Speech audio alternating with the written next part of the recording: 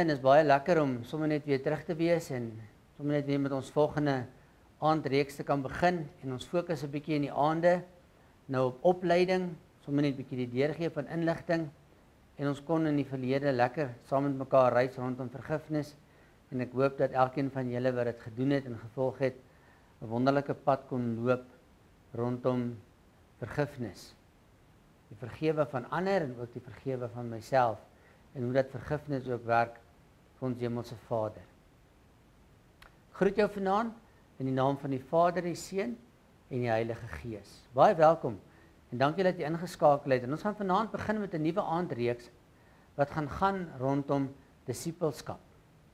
En ons gaan dit noem die disippelskap skool. En ek gaan ongeveer 8 geleenthede gebruik om vir my en jou 'n bietjie op hierdie reis te sit rondom disippelskap. Vanaand se sessie sal gaan rondom wat is 'n disipel en wat is disipelskap in homself. Wat is 'n disipel en wat is disipelskap in homself?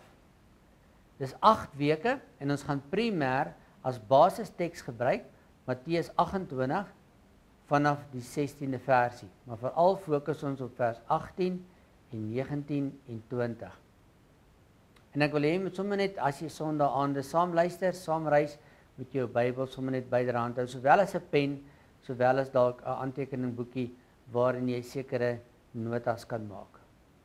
Ons gaan van hierdie aanlyn metode gebruik maak en ek gaan die lering gee bewyse van hierdie video en baie keer gaan ons jou vra om te pause en dan moet jy die pause knoppie druk en dan is daar 'n vraagie of 2 3 wat jy dan of by jouself of in 'n klein groep of saam as huisgesin as julle saam kyk dit met mekaar eers kan bespreek en sodra julle klaar is dan druk julle weer die pause knoppie en dan luister julle verder. Dit is nie baie lank vrae nie, dit is baie kort en 'n mens kan op hierdie wyse en op hierdie manier kan die aanbieding vir jou so lank wees as wat jy dit graag sou wou hê. Ek gaan net vir jou so 'n voorvlug gee oor die pad wat ons met mekaar gaan stap in die volgende klompie weke wat voorlê. Vanaand gaan ons stil staan by wat is 'n disipel en wat is disipelskap. En dan gee ek vir die ander temas. Nommer 2, waarom ons dit behoort te doen en dit nie doen nie. Ons gaan daardie vraag vir onsself antwoord. Derdens, watter waardes lê daar op die hart van 'n disipel? Watter goed is belangrik en wat is dit wat ons van my en jou gaan motiveer om hierdie disipelskap pad te stap saam met ons Here Jesus? Vierdens, gesonde gewoontes vir disipelmakers. Nommer 5, Jesus is ons model vir disipelskap. En 5, 6 en 7 gaan die praktiese aanraak. Ek dink vir baie van ons is al opgewonde en ons wil graag weet maar wat moet ek nou prakties doen om iemand 'n disipel te maak? En dit gaan ons sien in nommer 5, 6 en 7. 6 en 7 gaan oor hoe maak ek 'n disipel? En dan gaan ons afsluit met missionale gemeenskappe en dan ook 'n klompie vrae en antwoorde wat ons aan die einde vir mekaar gaan beantwoord. Daar's sekere dinge in die lewe wat 'n mens nie 'n kursus voor hoef te hê nie. 'n Mens kry so baie how to, hoe om sekere goeders te doen, video's op Google. En 'n mens kry byvoorbeeld 'n video wat sê how to cut bread, hoe om 'n brood te sny. Hoe om 'n wortel te skil hoe om 'n aardappel te kook. Dis ek 'n how to video's. Daar's selfs een wat jou wys hoe om jou tande te borsel. En dis baie interessant want daar's in hierdie lewe is daar doeteenvoudig gewone natuurlike leerprosesse. Dinge wat ek en jy nie nodig het om 'n how to video te gaan kyk nie. Ons leer dit sommer van kindsbeen af. Ons leer dit by ons ouers.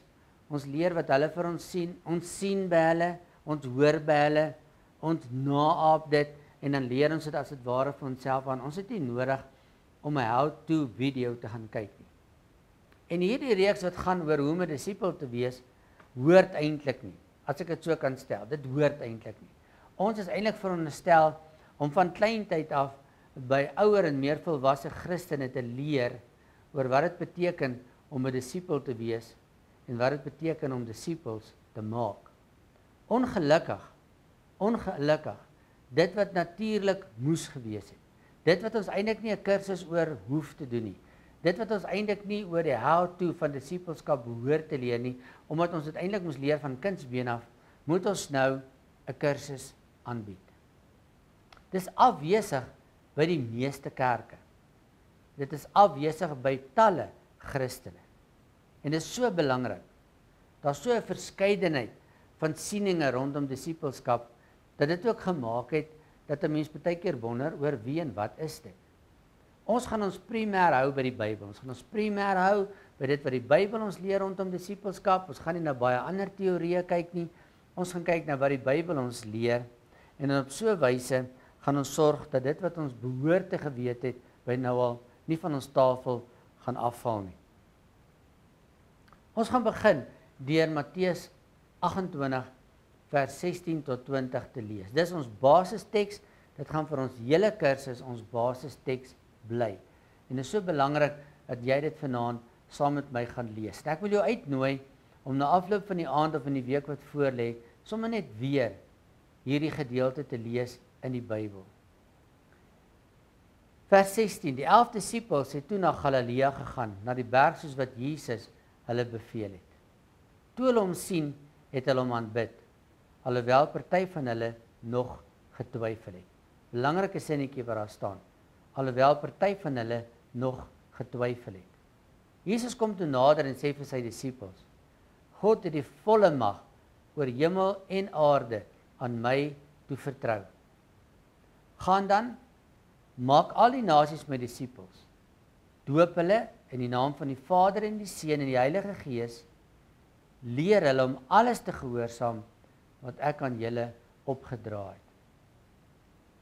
En weet verseker, ek is vir altyd by julle tot aan die einde van die wêreld geskiedenis. Ek is vir altyd by julle tot aan die einde van die wêreld geskiedenis. Dit was Jesus se laaste opdrag wat hy aan sy disippels gegee het. En baie interessant van hierdie skrifgedeelte is dat die hoofwerkwoord wat 'n mens kry in vers 19 is maak disippels. Dis die hoofwerkwoord. Die Here Jesus sê eintlik vir sy disippels daai opdrag om te sê maak disippels van mense. En dan gebruik hy drie aanvullende werkwoorde om dit aan ons te verduidelik en hy in van ons te sê maar wat bedoel hy daarmee? En dan die eerste ding wat hy sê is gaan. 'n Disipel of 'n disipelmaker is nie iets wat outomaties gebeur nie. Dis iets wat ek en jy moet beplan. En dan sê hy doop hulle. Ons gaan bietjie later stil staan by daai gedagte. En dan later dan sê hy en leer hulle. So om 'n disipel te maak beteken is 'n aktiewe handeling waar jy iemand nie net alleen 'n disipel maak en leer aangaan die dinge wat Jesus geleer het nie, maar dat jy hom ook doop en die betekenis daarvan gaan ek later vandag in die kursus vir jou baie mooi ook verduidelik. So die Here Jesus kom gee hierdie as 'n laaste opdrag aan sy disippels.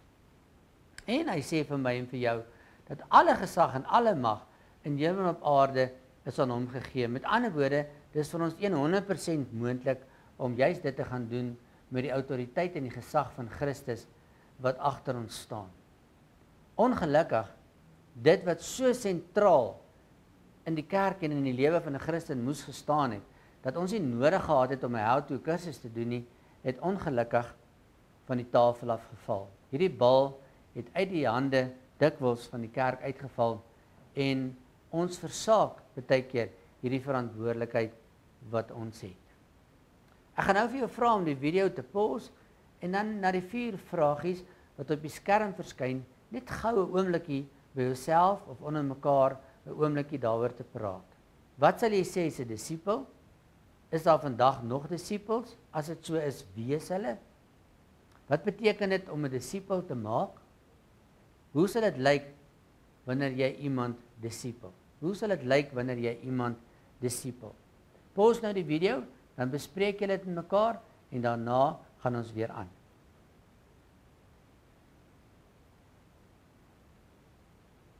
Ja, ek dink julle kon baie lekker gesels oor hierdie vrye vragies. En ek wil net sommer net 'n bietjie op dit reflekteer vir die tyd wat ons nou saam is. Natuurlik is daar verskillende moontlikhede om die vraag te beantwoord om te vra wat is 'n disipel? En ek dink baie van ons het gesê dit is die 12 disippels van Jesus. In Lukas 6 vers 12 tot 13 lees ons egter hierdie baie interessante ehm um, aantekening wat die Lukas skrywer vir ons gee. Vers 12. Eendag kort hierna het Jesus na 'n berg gegaan om te bid en hy het die hele nag in gebed deurgebring. Teen dagbreek het hy al sy disippels bymekaar geroep en 12 van hulle gekies om apostels te wees. Met ander woorde disippels is nie net hierdie 12 nie. Jesus het 'n klomp disippels gehad. En disippels beteken dalk het van julle gesê 'n volgeling van Jesus. En ek dink dit is baie naby aan die mees korrekste verduideliking van wat 'n disipel is. Dis 'n volgeling van Jesus, maar daar's 'n bietjie meer vleis aan as om net te sê iemand is 'n volgeling van Jesus, maar dis 'n baie goeie vertrekpunt.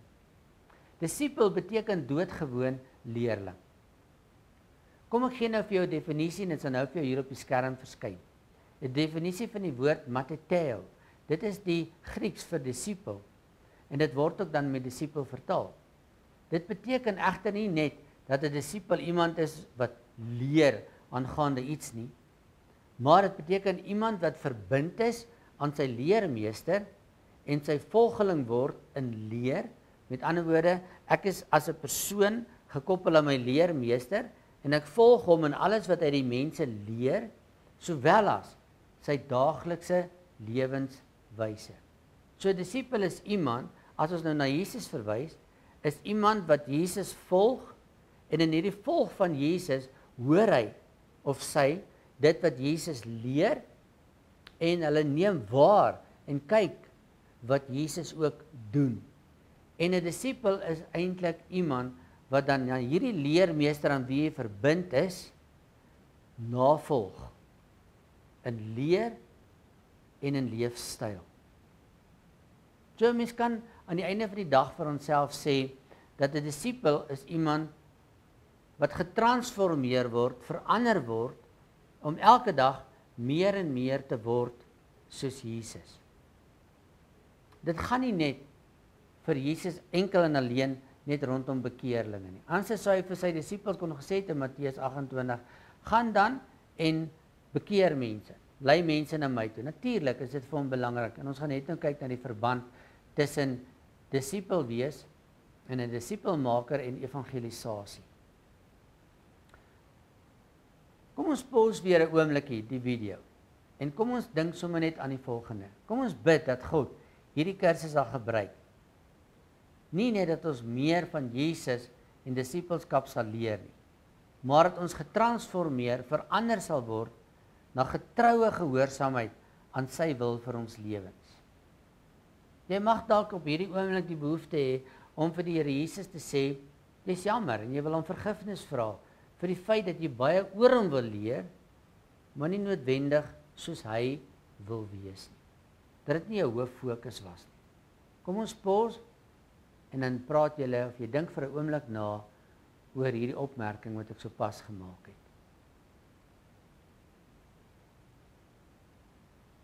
Natuurlik is 'n disipel 'n Christen.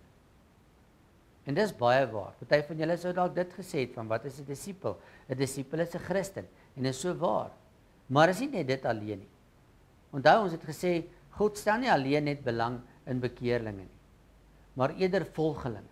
Mense wat in Jesus se voetspore loop en luister na wat hy leer en bereid is om dit toe te pas.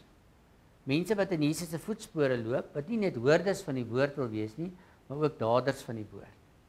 En daarom kom ek lees sommer net weer vir jou Matteus 28 vanaf vers 18.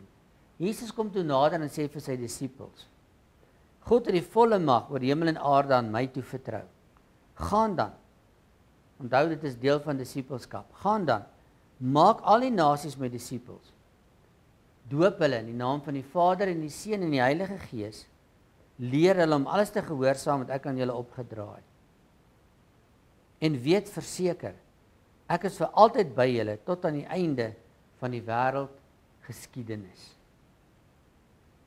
So wanneer Jesus hier praat en hy wil vir ons 'n disipel beskrywe, dan wil hy sê dat 'n disipel is iemand wat ontvang het wat van hom aan hom geleer is en wat bereid is om ook te stap in die voetspore van ons Here Jesus Christus.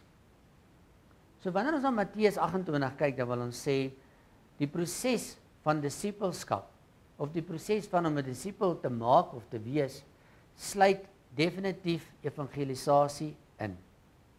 Dit beteken dat jy iemand moet lei na 'n keuse vir die Here Jesus Christus.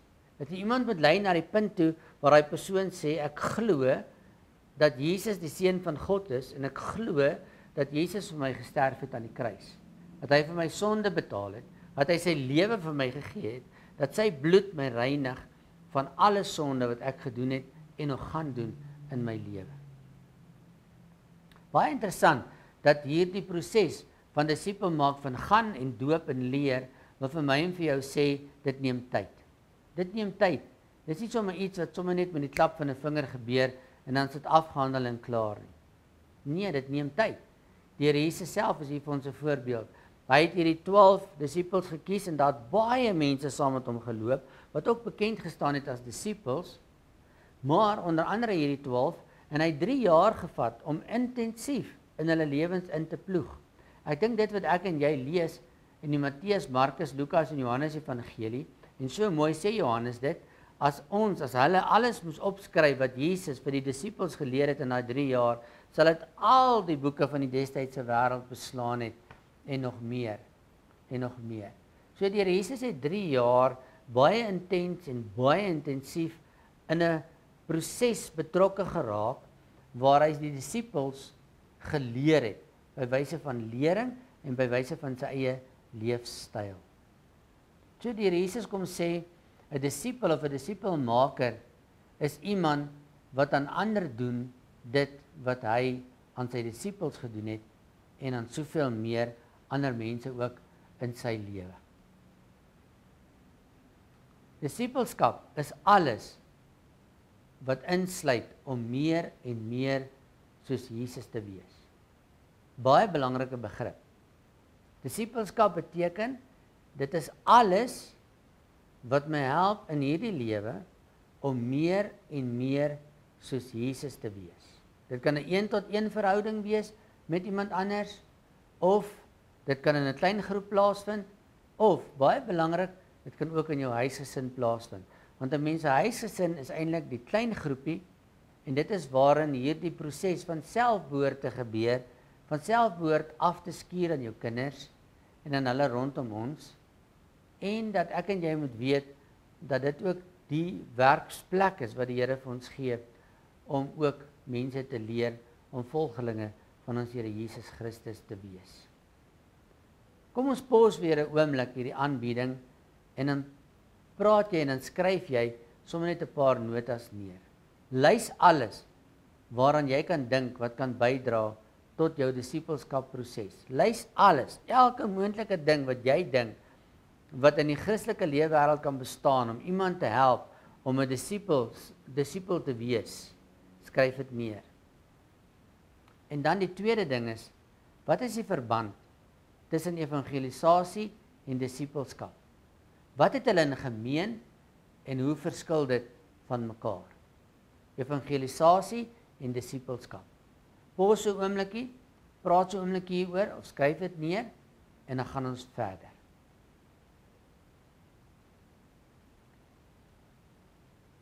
Ja, ek dink aan baie van ons harte leef daar hierdie ding van evangelisasie.